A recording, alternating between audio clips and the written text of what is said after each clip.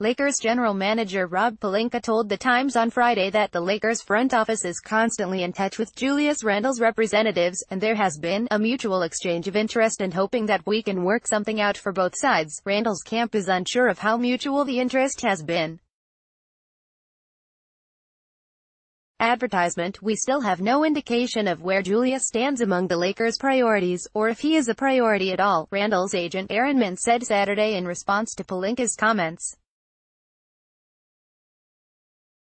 We are looking forward to the marketplace in July, when we will get a clear picture of Julius's future. That marketplace is expected to include the Lakers.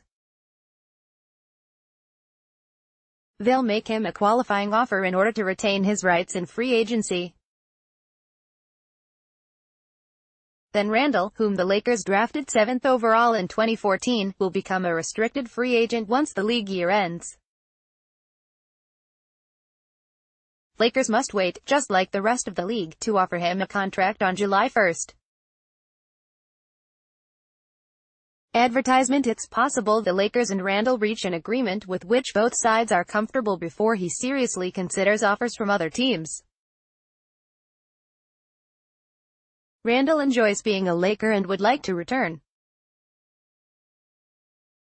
But even if he doesn't accept the Lakers' offer, the team will have the option to match any offer sheet he signs. What contributes to the uncertainty is that the Lakers have been saving salary cap space for this summer and next in order to take advantage of robust free agent markets, and they know it will take two stars to once again become a championship contender. It's unlikely they could add two free agents on maximum contracts without renouncing their rights to Randle.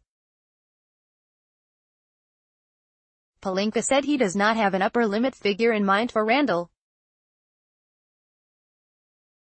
I think going into a process with kind of a position of entrenchment or here's the thin red line that we will not cross isn't necessarily the best way to approach something with an open-mindedness, Pelinka said.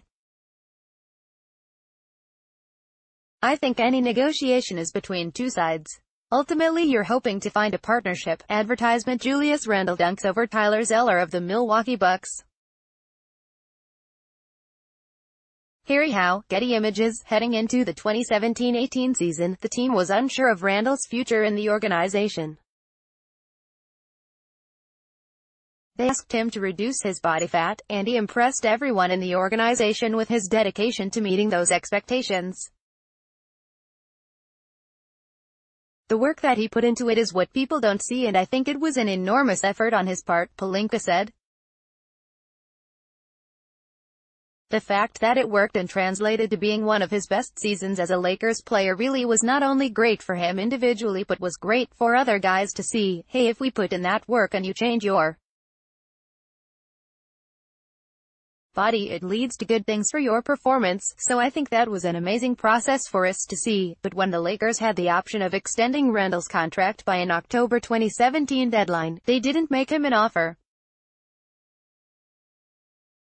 The Lakers were unwilling to add any salary last summer that went beyond the 2017-18 season. It rankled Randle, who came to a game at one point this season wearing a sweatshirt that said, pay me, on it.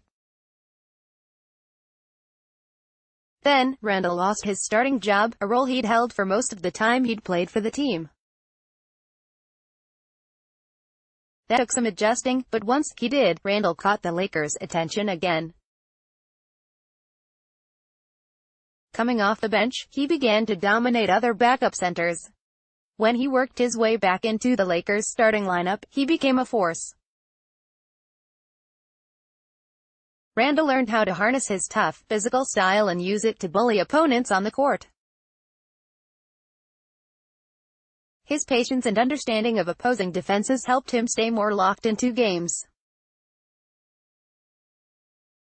Randle was the only Lakers player who played in all 82 games, and even played with a broken finger from January through the end of the season. Advertisement The Lakers weren't the only team that noticed Randle's improvement. Miami Heat coach Erik Spoelstra said Randle's mastery of the hybrid center forward position made him the kind of guy everybody is trying to find. It caught the attention of teams around the league, and could lead to another team offering more than the Lakers will be able to match. Randle would like to return. This is the place that drafted me, so obviously I have those ties, Randle said during his exit interview in April. I love it here. Dot dot dot. It'll be amazing to be here and hopefully both sides can come to something. For now it's just that, hope. Tania.Ganguli at LATimes.com Follow Tania Ganguli on Twitter at Tania Ganguli.